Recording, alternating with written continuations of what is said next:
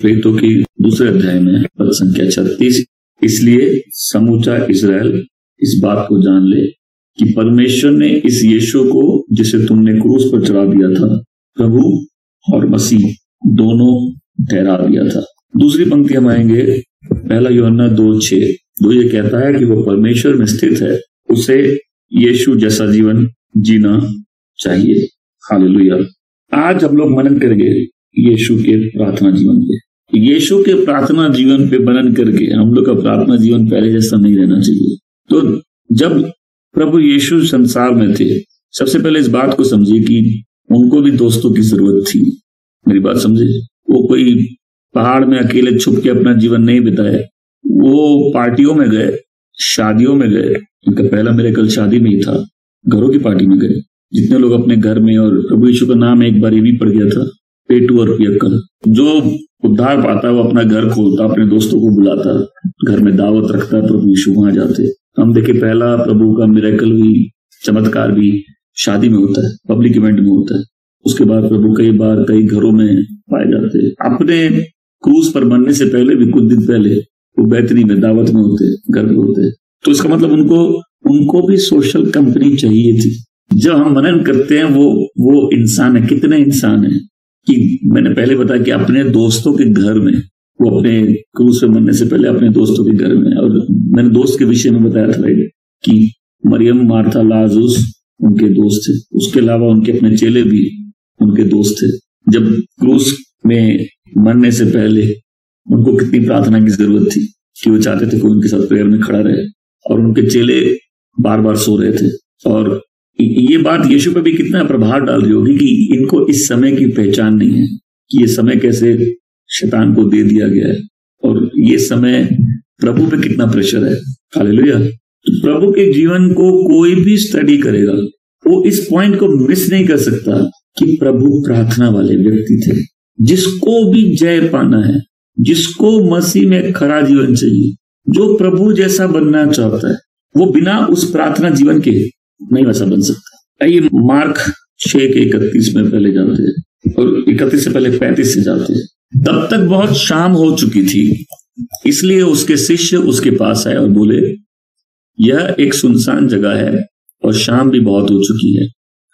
लोगों को आसपास के गाँव और गाँवों और बस्तियों में जाने दो, ताकि वो अपना कुछ खाना मोल ले सके। तो ये चमत्कार सब जानते रहे, जब प्रभु ने रोटी और मछली का चमत्कार किया। इसके चमत्कार के बाद पूरी रात प्रभु प्रार्थना करते हैं। लेकिन इस पूरी रात से पहले, पिछली पूरी रात भी उन्होंने प्रार्थना की थी। दिन में पूरा दिन लोगों के साथ थे, थका देने वाली वो एक्टिविटी होगी, जहाँ प्रभु वो चमत्कार करते हैं। और स्वाभाविक है कि उसके बाद लोग पहले रेस्ट मांगेंगे। कई बार होता है ना, आप बेड पे हैं और करवटे बदल रहे हैं। कई बार आप सोना चाहते हैं बेड पे हैं, करवटे बदल रहे हैं। होता है ऐसे।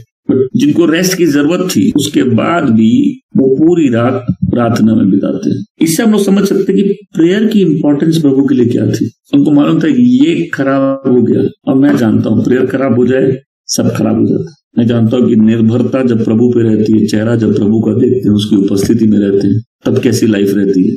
और जहाँ प्रेयर भंग हो जाए मैं हमेशा बोलता मेरे सबसे बड़ा दुश्मन कौन है? जो मेरी प्रेयर खराब की और वो कौन है? दुश्मन। मैं खुद।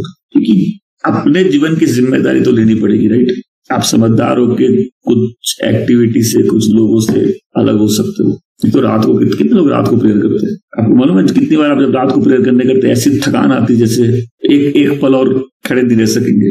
जो जो रात को प्रेयर करते हैं, उनके ऊपर एक प्रेशर और भी आता है कि दिन में अचानक से कुछ ऐसी एक्टिविटीज़ आती है जो शरीर में ताकत ले जाए। और प्रेयर बिना ताकत के नहीं हो सकती। अचानक से एक्टिविटीज़ आएगी और हम थक जाएँगे। और जैसे प्रेयर का टाइम आएगा, उसी समय एक ऐसी थकान आएगी कि मतलब पाँच मिनट सो जाओ पाँच मिनट नहीं होता, पाँच घंटे से कम नहीं होता वो। होता है से तो मैं इसलिए रातों को जब प्रेयर करता था, मैं कभी बैठ के नहीं करता था। मैं वॉक करके करता था। मैंने प्रेयर का तरीका है ईजाद किया। मैं रात रात भर कितने रातें, कितनी रातें प्रेयर किया ऐसे। इसलिए मैं, अब क्या हो बंद रूम में प्रेयर नहीं कर सकता। अब मेरी आदत ऐसी होगी सालों के बाद मैं बंद रूम में प्रेयर नहीं कर सकता। फिर आप जितनी भी प्रेयर कर लो, एक तो जो नया नया प्रेयर करना सीखता है, उसकी क्या प्रॉब्लम है? वो पहला दिन जब अच्छे से प्रेयर कर लेगा अगर, वो इतना खुश होगा कि तीन दिन प्रेयर नहीं करेगा वो, कि कल तो इतनी अच्छी किए थे। कितने लोग ऐसे हैं, हाथ उठाएँगे ईमानदारी से? कितने लोग ऐसे एक दिन प्रेयर करते तो लगता है कल तो इतनी अच्छी की थे, फिर उसके बाद प्रेयर होती नहीं है। प्रेयर एक ज़रूरत है। प्रेयर के बिना जीने का कोई विश्वास है जीवन जीने का कोई ऑप्शन नहीं है। तो मैंने एक टीचिंग में कुछ समय पहले बताया था, सिर्फ़ एक चीज़ ठीक करनी है लाइफ में, अपनी भक्ति, बाकी सब ठीक है। अपना प्रार्थना का जीवन, अगर वो ठीक कर लिए तो मसीह जीवन बहुत सुंदर हो जाएगा। अब भक्ति जब मैं बोलता हूँ, उसमें प्रार्थना, आराधना, वचन, जो वो समय जो आपका और प्रभु का समय है। इसलिए चर्च में शुरू से कभी एक्टिविटीज़ नहीं रखी गई एक ही एक्टिविटीज़ है वर्शिप प्रेयर वर्ड उसके बाद फेलोशिप और ये सारी चीज़ें, फिर वो भी बाद में आती है। वर्शिप प्रेयर वर्ड प्रार्थना का कोई विकल्प नहीं है। बिना प्रार्थना के अच्छा मसीह जीवन जीना असंभव है। बिना प्रार्थना के प्रभावशाली रूप से सेवा करना असंभव है। जितना अभिषेक हो व्यक्ति में तो प्रार्थना में वो इंटेंसिटी वो तीव्रता बनाना, बना के रखना उसको सबसे कठिन है। ये भी आप मानते होंगे, समझते होंगे। आप ये भी जानते हैं, प्रार्थना का लय एक बार टूट जाने से वो लय वापस बनाना कितना मुश्किल है। ये भी समझना होगा आपको कि आप प्रेयर नहीं करें इसके लिए कितने लोग आपसे लड़ने के लिए तैयार है? कितनी चीज़ें आपका ध्यान भटकाने के लिए तैयार है? कितनी एक्टिविटीज़ आपके मन भटकाने के लिए तैयार है? अब मैं जैसे अभी बताता हूँ मैं कैसा हूँ कई बार। आप जैसे बाइबल पढ़ने बैठे तुम लोग तो पेन नहीं है। तो पेन लेने उठे, टेबल पे गए। बोले, अरे, ये लैपटॉप पे धूल कैसे? ऐसे पेपर नैपकिन दिया, ऐसे उसको साफ़ अरे, याद किया? अरे, वो रूम भी तो साफ़ नहीं है। वहाँ जाके उस रूम को साफ़ कपड़े तो वॉशिंग मशीन में डाले ही नहीं है। फिर कपड़े उठा के वॉशिंग मशीन में। तो चलो अभी खाना बना लेते ये कुछ दिन पहले की बात बता दो चलो खाना बना लेते तो वहाँ वॉशिंग मशीन डाले तो हम खाना अरे खाना बना फ़ोन में बात कर लेते हैं। या पेरेंट्स को फ़ोन कर लेते किसी को। तो सुबह फ़ोन में बात कर लगे फिर हम तो हम तो बाइबल पढ़ रहे थे। इससे डेढ़ दो घंटा पहले हम तो बाइबल पढ़ना चालू किए थे। प्रार्थना में मन एक जगह जब तक नहीं लगेगा, तब तक प्रार्थना हुई नहीं। उसमें जगह का और समय का कितना बड़ा प्रभाव होता है। यीशु पूरी रात प्रार्थना करते हैं और अगला पूरा दिन बिज़ी होता है। फिर अकेले होके रात को प्रार्थना करते हैं। तो पहले यीशु कैसे प्रार्थना करते थे? यीशु कई बार रात भर प्रार्थना करते थे। हमेशा पूरी रात नहीं करते थे। लॉकडाउन के दिनों मैंने रात को प्रेयर चालू किया उस सर दस, ग्यारह, बारह तक भी गई है। लॉकडाउन के सेकेंड लॉकडाउन के टाइम रात रात भर प्रेयर वर्शिप सवेरे चार बजे मैं छत पे चला जाऊँगा साढ़े तीन बजे और कलकत्ता में छत पे चमकादड़ रात को थे तो मैं हाथ में वो, वो मच्छर मारने वाला रैकेट लेके प्रेयर वो इंटेंसिटी सब समय बना के रखना कितना कठिन है राइट इंसानों के रूप में हम लोग जानते हैं कि मैं बोलता अगर आपको अगले दिन दिन भर कुछ भी नहीं करना पड़े फिर भी अगली पूरी रात प्रार्थना करना बहुत कठिन है। एक तो जो व्यक्ति रात को उठता है, रात को उठे रहने से ही बॉडी की, जैसे बाहर एक घड़ी देखते हैं, अंदर भी एक घड़ी है, जो अंदर की इंटरनल क्लॉक है, वो चेंज हो जाती है कंफ्यूज हो जाती है। जो रात भर जगते हैं, उनको तो अगले दिन शाम को चार बजे उनके शरीर में ताकत आती है। कितने लोग रात भर वाले मानेंगे इस बात को? सर, उठ के तो होश नहीं रहता कि ताकत नहीं अंदर से। भले आप सो लिए पूरा, लेकिन अभी क्लॉक चेंज हो गई है। प्रभु यीशु रात भर उठे, दिन भर सेवा किए और आप कई बार देखोगे वो बिना खाने और बिना पिए रह गए। प्रार्थना के बिना नहीं रहे। क्या मेरी बात को सुन रहे कई बार बिना खाए, बिना पिए रह लिए। प्रार्थना के बिना नहीं रहे। जब हम प्रार्थना की उस इंपॉर्टेंस को भूल जाते हैं तो क्या होता है? अपना दिल परमेश्वर के साथ नहीं बांटते जब पाप मन में आ जाता है तो हम अपने मन की जब करना चाहते हैं, तब अपना दिल परमेश्वर के साथ नहीं बांटते लेकिन अगर हम वचन पर निरंतर मनन कर रहे हैं तो प्रार्थना भी निरंतर होती रहती है। हमें देखिए, आप एक घंटा प्रार्थना करिए, दस मिनट करिए या दस घंटा करिए। आप ज़्यादा प्रार्थना करने से स्वर्ग नहीं जाएँगे। तो चर्च में कंपटीशन नहीं है कि कौन कितना प्रेयर करता है। कई कई मिनिस्ट्रीज में जैसे यहाँ प्रेयर लोग करते हैं राइट यहाँ ज़्यादा स्ट्रेस और फोकस पर्सनल प्रेयर पे दिया जाता है। तुम्हारी प्रभु के साथ रिश्ते थे। तो कई यूनिवर्सिटी में लोग बहुत प्रेयर करते हैं। वो एक हिसाब से एक अपने आप में प्रेयर एक मूर्ति बन गई है कि हम इतना घंटा प्रेयर करते हैं उतना घंटा। यहाँ कोई कितना घंटा या कितने मिनट करता प्रेयर उसकी बात नहीं है। यीशु के पिता पर पूरी निर्भरता के ऊपर बात है। यीशु के जीवन में प्रार्थना की प्राथमिकता की बात है। यीशु के जीवन में प्रार्थना कितनी ज़रूरी है कि ये मिशन कंप्लीट करना कितना ज़रूरी है? बिना प्रार्थना के ये करना असंभव था क्योंकि यीशु मसीह ने सारे काम जो उन्होंने किए। परमेश्वर होने के नाते नहीं किए, एक इंसान होने के नाते किए अपने आप को पूरा शून्य कर दिया। हमें तो मतलब जब आखिरी समय में अंदर से सो जाना, उनको भी आती होगी। लेकिन जिस व्यक्ति को कहीं जाना नहीं है, उसको प्रार्थना किस चीज़ के लिए करनी है? जिस व्यक्ति को परमेश्वर की कोई इच्छा पूरी नहीं करनी, जिसके जीवन में कोई परमेश्वर द्वारा दिया गया प्रॉमिस नहीं है, जिसके दिल में वचन नहीं है, जिसको परमेश्वर की योजना पूरी नहीं करनी प्रार्थना क्यों करेगा? वो तो बिना प्रार्थना के भी ठीक है। लेकिन जब ये बाहर महसूस होता है कि हमको अपने जीवन से परमेश्वर को महिमा देनी है तो उसके लिए पहला स्टेप होता है कि अगर हम प्रार्थना नहीं करेंगे तो वो कृपा वो अनुग्रह मेरे जीवन में कहाँ से आएगा? नहीं तो प्रलोभन तकलीफें लड़ाई झगड़े इसी में जीवन खत्म हो जाएगा। कितने लोगों के जीवन में लड़ाई लड़ाइयाँ हाथ उठेंगे अब आप लड़ाई के बीच में प्रेयर लाइफ कैसे मेंटेन करोगे? एक तो कुछ लोग लड़ाई से प्रेयर लाइफ सीख जाते हैं। अब मैं, मैं यहाँ रिवाइवल मीटिंग बहुत अच्छी जा रही है मीटिंग कल बहुत ब्लेस और पावरफुल मीटिंग थी। तो मैंने बोला कितनी औरतें यहाँ तुम्हारा घर टूटने वाला होगा तुम ठीक प्रेयर कर लोगी। लेकिन प्रेयर कर करके घर को स्थापित नहीं करोगी और पति को योजना में लेके नहीं जाओगी। क्या मेरी बात को सुन रहे तो प्रेशर में कई लोग प्रेयर करना सीख जाते हैं। लेकिन अगर प्रेयर की इंपॉर्टेंस नहीं समझ में आएगी तो बहुत से प्रेशर से हम लोग रिलीज़ नहीं होंगे। जो रोज लड़ते रहते वो प्रेयर कैसे करेंगे? जो रोज गुस्सा होते रहते हैं। आप मैसेज सुना, गुस्सा नहीं करना। कई लोग का शैतान वेट करता है, बस गुस्सा करो, बाकी सब हम संभाल लेंगे। तुम गुस्सा करो बार बाकी सब हम संभाल लेंगे। अभी कुछ लोग परेशान है काउंसलिंग चाहते हैं, लेकिन उनका गुस्सा उनके कंट्रोल में नहीं है। लाइफ कैसे सेट होगी? मतलब एक प्रार्थना जीवन सही जाने के लिए। एक तो प्रार्थना जीवन ठीक है तो सब ठीक है, लेकिन आप दिन में लड़ रहे हो चैचे पैचे कर रहे हो, गलत रास्ते जा रहे हो, बुराइयाँ कर रहे हो, फालतू चीज़ों में व्यस्त हो, उन्हीं लोगों के मुँह लग रहे हो जहाँ लड़ाई होनी है। उदास हो, परेशान हो, फिर आप प्रेयर कैसे करोगे? एक तो प्रेयर से सारी चीज़ें ठीक हो जाएँगी। और ये सारी चीज़ें अगर चलती रही तो प्रेयर में इफ़ेक्ट होगा। जिस व्यक्ति की पहली ज़रूरत है कि मेरा पिता के साथ रिश्ता ठीक रहना चाहिए। उसको मालूम है कि प्रेयर खाली बैठने से नहीं हो जाती। प्रेयर में एक लय होती है, प्रेयर में एक आग होती है, प्रेयर में एक इंटेंसिटी होती है, प्रेयर में एक फ्लो होता है। सारे स्ट्रगल का कारण है प्रेयर लाइफ नहीं होना। कल भी मीटिंग थी, मैं बता रहे थे बहुत से लोग, आप चुड़ैल बनने के लायक भी नहीं है। क्योंकि चुड़ैल बनने के लिए भी मेहनत करनी होगी। आप कभी सोचे दुष्ट लोगों का फोकस और उनका कमिटमेंट कितना स्ट्रांग होता है। जो भटके हुए हैं, उनकी अपनी भक्ति कितनी स्ट्रांग होती है। बिकॉज़ जिसके जीवन में वेदी नहीं है, धुआँ नहीं है, फिर स्वर्ग उसके ऊपर, देखिए आपके जैसे यीशु पैदा हुए तो एक तारा उनके ऊपर था। तो तारा बहुत ऊंचाई पे रहता है। अगर आपके ऊपर काले बादल है तो आप तारा देख पाएँगे। तो जो व्यक्ति प्रार्थनाओं के द्वारा उस बादल को तितर बितर नहीं करेगा, वो डेस्टिनी को फुलफिल नहीं कर पाएगा फिर। बहुत से लोग प्रॉब्लम में चले गए, बहुत से लोग डिप्रेशन में मार दिया। प्रॉब्लम सबको टेस्ट भी करती है राइट प्रॉब्लम बहुत से बंधन तोड़ देती है कई बार। प्रॉब्लम आदमी को मजबूर करती है अपने दिल को चेक करने के लिए। हम सब के अंदर इतनी धूर्तता है, कई बार इतना पाखंडीपन है, जो या तो आपके पति या पत्नी आपको बता सकते हैं या प्रभु बता सकते हैं। किसे सुनना पसंद करेंगे। क्या मेरी बात को सुन रहे हैं? यीशु रात बल प्रेयर किए। दिन भर और मिनिस्ट्री एक्टिविटी बहुत इंटेंस होती है। कई बार मीटिंग इतनी अच्छी होती है फ़िज़िकल मीटिंग की उसके बाद ही नींद नहीं आती, इतना आनंद है। थके हुए, लेकिन इतना आनंद, नींद नहीं आती। होता है ऐसे कई बार, लेकिन शरीर थक जाता है। प्रभु यीशु एक रात प्रार्थना करते हैं, उसके बाद वापस पूरी रात प्रार्थना करते हैं। फिर मार्क एक उन्तीस से पैंतीस में, प्रभु सुबह होने से पहले उठ जाते हैं और एक अकेले जगह में जाके प्रार्थना करने लगते हैं। उसके बाद पूरा दिन व्यस्त होता है, दिन और रात दोनों व्यस्त होता है। वो प्रार्थनालय में जाते हैं कैपर नाम में, वहाँ प्रचार करते हैं, वहाँ शिक्षा देते हैं। एक आदमी को जिसमें अशुद्ध आत्मा था, उसको छुटकारा देते हैं। फिर वो सिमोन और एंड्रू के घर जाते हैं और उसकी सास को जो बीमार थी, चंगा करते हैं। ये सुन के सब लोग सिमोन के घर में आ जाते हैं और सब बीमारों को और डीमन पोजेस लोगों को लेके आ जाते हैं। प्रभु रात को वापस अलग होते हैं सोते और सवेरे उठ के वापस प्रेयर करने लगे जाते आशीषित है वो व्यक्ति जिसने प्रभु से सीक्रेट सीख लिया है। हमें जहाँ वो टाइम उसके पास है, जहाँ कोई डिस्टरबेंस नहीं है और उसने खुल के अच्छे से प्रार्थना की जितना हम ऐसे जी पाएँगे प्रार्थना में, उतना हम प्रभु के जैसे बनते रहेंगे। तीसरा हम देखेंगे दो का तीन इक्कीस बाईस में, यीशु अपने बपतिस्मा से पहले प्रार्थना करते हैं। अपनी पब्लिक मिनिस्ट्री में जाने से पहले प्रार्थना करते हैं।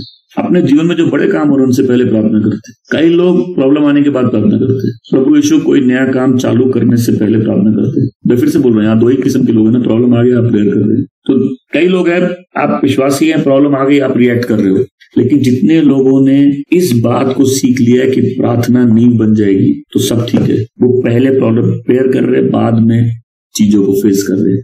और जब आप चीज़ों को फेस कर रहे हैं, आपके पास स्वर दूत है की सहायता है आपके पास अनुग्रह है, आपके पास विजडम है, आपके पास डायरेक्शन है। यीशु हर तकलीफ़ के पहले प्रेयर करते हैं। अपने सुसमाचार प्रचार करने से पहले वो प्रेयर करते हैं। फिर बाद में रात भर प्रार्थना करते हैं, बारह को चुनने से पहले। फिर वो गार्डन में गैसे में जाके प्रार्थना करते हैं मृत्यु से पहले।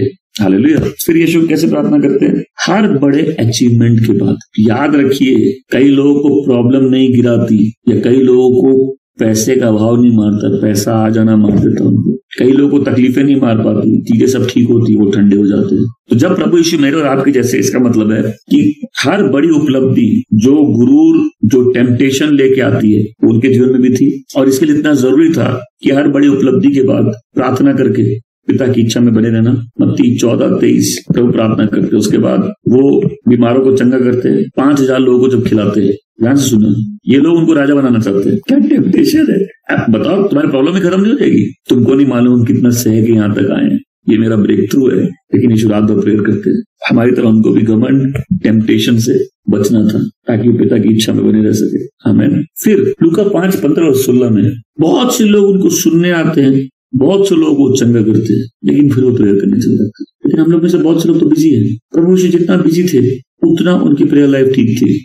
मतलब उनको मालूम था सब धोखा है, सब बोम आया है। जितना व्यस्त दिन, उतना प्रार्थना करते। और देखो, स्वाभाविक रूप से इसका उल्टा होता है। जितना व्यस्त दिन होता है, उतनी कम प्रार्थना होती है। मैं मलेशिया में था तो जिसने मुझे बुलाया था, उस समय उसके घर में मैं रुका था। तो तीन, चार, पाँच दिन हम उसको बोले प्रेयर कब करते हो? तो हम सब समय बिज़ी रहते हैं सब समय सेवा करते रहते। हम बोले तो प्रेयर कब करते हो? और सही में वो सेवा में सब समय बिज़ी रहता था। सब समय यहाँ जा रहे हैं, वहाँ कर रहे वो चर्च में इधर, वहाँ मीटिंग ये मीटिंग वो मीटिंग ये कितना बड़ा ट्रैप है।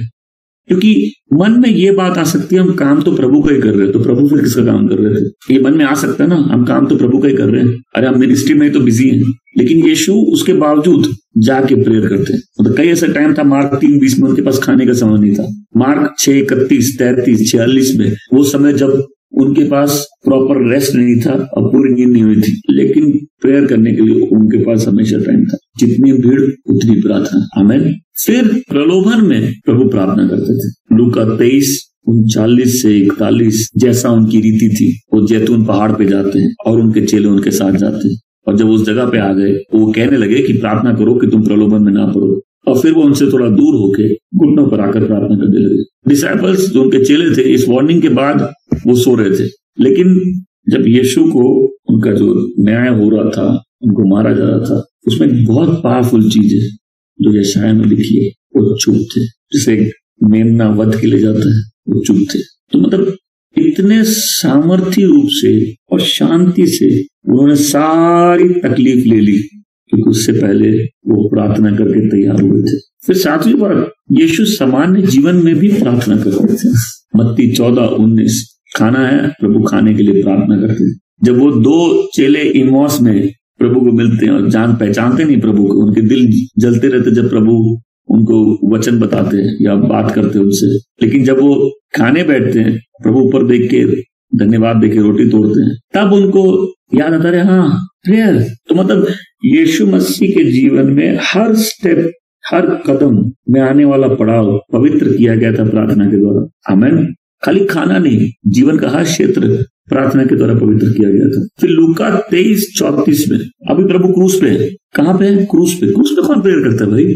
तो मरना ही है, प्रभु। पिता के पास ही तो जा रहे नहीं, पिता इन्हें माफ़ कर दे, ये नहीं जानते क्या करें। खाली ये प्रार्थना आखिरी वर्ष भी प्रेयर है। लुका तेईस छियालीस, पिता मेरे आत्मा ग्रहण कर, मेरे प्राण ग्रहण कर। कुसुम और ये ये प्रार्थना चीख के की गई है। ये पिता, मेरे प्राण मैंने एक प्रचार में बोला था कि या तो तुम्हारे प्राण तड़प तड़प के निकलेंगे, या तुम खुद सौंप दोगे। कैसे चाहिए? जो जीवन पिता ने दिया, अब वो जीवन, वो प्राण पिता को ग्रहण हो। हमें अब ये तो था यीशु मसीह की प्रार्थना की शेड्यूल कैसे थी? रात भर, सुबह सुबह, बड़ी आने वाली आशीषों के पहले, जो कदम लेना उनके पहले डिसीजंस के पहले, बड़ी उपलब्धियों के बाद, तकलीफों के लिए तैयार करने के लिए, आखिरी समय पे, खाना खाते समय तो कैसे प्रेयर करते थे? हम लोग योना सत्रह एक में जाते हैं। ये बातें कहकर यीशु ने आकाश की ओर देखा और बोला, हे परम पिता वह घड़ी आ पहुँची है, अपने पुत्र को महिमा प्रदान कर ताकि तेरा पुत्र तेरी महिमा कर सके। जब वो प्रार्थना करते थे, उनके माइंड में परमेश्वर की महिमा थी। परमेश्वर की महिमा ध्यान रख के वो प्रार्थना करते थे। यही प्रार्थना उन्होंने चेलों को सिखाई कि हमारे पिता, तू जो स्वर्ग में है, तेरा नाम पवित्र माना जाए, तेरा राज है, तेरी इच्छा जैसे स्वर्ग में पूरी होती है, वैसे पृथ्वी पर हो। पिता की महिमा। हालेलुया। दूसरी बात, वो कैसे प्रार्थना करते थे? समर्पण में। तो मत्ती छब्बीस, बयालीस में देख सकते हैं कि जब वो उस गैक्सिमनी के गार्डन में होते, बगीचे में होते, वो तो पिता, यदि तू चाहता है, कटोरा मेरे आगे से डाले, फिर भी मेरी नहीं, तेरी इच्छा पूरी। कंप्लीट सबमिशन कंप्लीट निर्भरता। कंप्लीट समर्पण अपने पिता के सामने। तीसरा वो कैसे प्रार्थना करते थे? योहन्ना ग्यारह इकतालीस, वो खड़े होकर प्रार्थना कर रहे थे। लू का बाईस इकतालीस, वो घुटनों पे प्रार्थना कर रहे थे। बत्ती छब्बीस उनचालीस, वो मुँह के बल लेट के प्रार्थना कर रहे थे। फिर उसके बाद वो कैसे प्रार्थना करते हैं? लू का बाईस चवालीस में। हम बाईस चवालीस पढ़ेंगे लू का बाईस चवालीस। उधर यीशु बड़ी बेचैनी के साथ और अधिक तीव्रता से प्रार्थना करने लगे। उनका पसीना रक्त की बूंदों के समान। धरती पर गिर रहा था। मतलब उनकी प्रार्थना में कैसी तीव्रता थी कि पूरे प्राण पिता की तरफ़ उस तीव्रता से पिता की ओर देख रहे। अब लोग इब्रानी पाँच सात पढ़ेंगे। यीशु ने इस धरती पर जीवन काल में जो उसे मृत्यु से बचा सकता था, ऊँचे स्वर में पुकारते हुए और रोते हुए प्रार्थनाएँ तथा विनतियाँ की थी और आदरपूर्ण समर्पण के कारण उसकी सुनी गई। मतलब यीशु ने अपने जीवन में प्रार्थनाएँ और विनतियाँ की और आदरपूर्ण समर्पण। यहाँ वचन के ऊँचे स्वर से पुकारते हुए और रोते हुए। मतलब कोई समझ सकता है कि कितनी बार कभी हुआ है प्रार्थना में बहुत ज़ोर से चीखे निकली, कि बरो प्रार्थना करते करते आप बहुत ज़ोर से रोए। ये ये कौन सी प्रार्थना है? यहाँ पूरे प्राण स्ट्रेच है पिता की तरफ़। यहाँ तीव्रता है। हालेलुया। यीशु के प्रार्थना जीवन में ऐसी तीव्रता थी कि कई बार ऊँचे पुकार में रोते हुए विनतियों के साथ पिता के सामने पूर्ण समर्पण करते हुए उन्होंने प्रार्थना की है। सो ये खाली प्रेयर नहीं, ये इंटेंस प्रेयर लाइफ है, जहाँ पूरा भरोसा पिता पर है। फिर यीशु ने लंबे समय तक प्रार्थना की है, पूरी रात, और कई बार मतलब वो नौ घंटा हो सकता है, क्योंकि सामर्थ्य रूप से प्रार्थना करने के लिए समय चाहिए। और वो आदमी जो सिर्फ़ चीज़ों और कामों में व्यस्त है, उसका प्रभाव तो उसकी प्रार्थना के जीवन पे पड़ेगा। तो ऐसा बोलेगा, प्रार्थना ठीक है तो सब ठीक है। फिर पति पत्नी है, ऐसे जितने लोगों की नई शादी हुई है खा मत जाओ अपने पति और पत्नी को, थोड़ा समय अलग दो, ताकि वो अपनी भक्ति ठीक रख सके। नहीं दोगे तो एक दूसरे को खा जाओगे। हर पति पत्नी को, विश्वासियों को, बच्चों माँ बाप को समझना चाहिए कि अगर वो व्यक्तिगत समय सबको भक्ति में नहीं मिला तो जीवन कहीं से सुधरना नहीं है। फिर जीवन पहले से बेहतर नहीं होना। फिर यीशु मसीह एक प्रार्थना को बार बार भी करते थे। मती छब्बीस चवालीस में, सुबह उन्हें छोड़कर फिर गया और तीसरी बार भी पहले की तरह उन्हीं शब्दों में प्रार्थना की। कोई बोलेगा कि भाई, एक बार प्रेयर कर लिया, दोबारा करने की ज़रूरत नहीं वहाँ फेत नहीं है। प्रभु की यीशु के ईगो में लगा नहीं, वो एक ही प्रार्थना को बार बार कर रहे थे। एक ही पिटिशन तीन बार दी, पिता। और जहाँ तक ये प्रार्थना है कि पिता आपकी इच्छा पूरी हो। ये प्रार्थना लाइफ में एक बार नहीं होती, ये बार बार होती है। फिर यीशु मसीह के जीवन में क्या है? उनकी प्रार्थना धन्यवाद के साथ थी। हम वरना ग्यारह, इकतालीस, बयालीस में आएँगे। तब उन्होंने उस चट्टान को हटा दिया और यीशु ने अपने आँखें ऊपर उठाते हुए कहा, परम पिता, मैं तेरा धन्यवाद करता हूँ कि तूने मेरी सुन ली है। मैं जानता हूँ कि तू सदा मेरी सुनता है, किंतु चारों ओर इकट्ठा भीड़ के लिए उसने कहा, जिससे वह मान सके कि मुझे तूने भेजा है। यहाँ तो प्रभु यीशु धन्यवाद, प्रार्थना कबूल होने से पहले ही देते कई कई लोग तो बाद में देंगे ना। प्रभु यीशु पहले ही धन्यवाद दे रहे और आखिर कैसे प्रेयर करते थे? विश्वास से। हमें और ये प्रभु ने सिखाया, अगर तू प्रार्थना में कुछ मांगे और संदेह ना करे तो वो जो तुझे ज़रूर दिया जाएगा। जो भी हम उससे मांगते हैं, योना कहता है, हमें मिलता है, क्योंकि हम उसकी इच्छा के द्वारा मांगते हैं। ये हमारा कॉन्फिडेंस उस पर जो हम मांगेंगे हमको मिलेगा। हमें कि हम लोग को प्रार्थना में यीशु जैसा बनना है। तो प्रार्थना पहले हम किसी ब्रेक थ्रू के लिए नहीं कर रहे। प्रार्थना पहले उस रिश्ते के कारण आई मीन प्रॉब्लम के कारण प्रॉब्लम के कारण तो सब प्रार्थना करते हैं। प्रार्थना तो रिश्ते के कारण है, उस पिता के रिश्ते के कारण जो पिता के साथ जो रिश्ता उसके कारण है। हमें वचन कहता है, जो ये कहता है, मैं परमेश्वर में स्थित हूँ, वो यीशु जैसा हो जाए। हमें हाँ कितने लोग यीशु जैसा होना चाहते हैं? जीसस जैसे। एक वे में हम लोग हो सकते हैं, अगर हम लोग उनकी तरह प्रार्थना करना सीख जाए। हमें अगर हम लोग समझ जाए कि प्रार्थना करना कितना ज़रूरी है। बिना प्रार्थना के ये मसीह जीवन स्थापित नहीं हो सकता। बिना प्रार्थना के हम प्रलोभनों पर जय नहीं पा सकते। बिना प्रार्थना के हम सही दिशा में नहीं चल सकते। बिना प्रार्थना के हम एक फलवंत जीवन नहीं जी सकते। हालेलुया। ये है हमारे प्रभु यीशु मसीह का प्रार्थना का जीवन। उनकी लाइफ में इम्पोर्टेंस प्रेयर की। और फिर कोई बोले, प्रभु, हम आपके जैसे बनना चाहते हैं। तो उसकी शुरुआत होती है यीशु के जैसे प्रार्थना को उसी जगह में लेके जाओ जहाँ प्रभु ने किया। हमें इस मिनिस्ट्री में सब कुछ सिखाता हूँ, एक समय, एक जगह। हमें हमेशा बोलेंगे, एक समय, एक जगह। जब वो अकेला होना कभी अकेला नहीं होना होगा। और क्योंकि जब वो एक समय, एक जगह हो जाती है, आप जैसे जब दो लोग प्यार करते छुप के मिलेंगे कि नहीं? आप सारा दिन का अपॉइंटमेंट वैसे एडजस्ट करोगे ताकि आप उस टाइम पे अपने से प्यार करने वाले से मिल सके। हमें जितने लोग परिवार में एक दूसरे के प्रार्थना के समय का भी सम्मान करिए। हमें जब लोग डिवोशन में बैठते हैं, उस बात का सम्मान करिए, क्योंकि वहीं से लाइफ बनती है। फिर आपके लाइफ में, जो आपके प्रेयर टाइम को ऑनर नहीं करता, आपको स्ट्रिक्ट होकर उनको बोलना है, मेरे प्रेयर टाइम में हमको डिस्टर्बेंस नहीं चाहिए। फिर आपको ये देखना है कि आपके प्रेयर टाइम में मन भटकाने के लिए दूसरी चीज़ें आपके पास नहीं हो। फिर आपको प्रेयर टाइम में ये देखना है कि खाली प्रेयर नहीं करना है, अच्छे से प्रेयर करना है। हमेशा बोलो समय लेके प्रेयर करना है। जानते हैं, समय लेके प्रेयर करने कितनी शांति है? तो मैं बोलो, प्रार्थना करनी है एक समय पे, एक जगह पे, समय लेके, अच्छे से, हमेशा रोज हमें वैसे ही प्रेयर कर दी हालेलुया।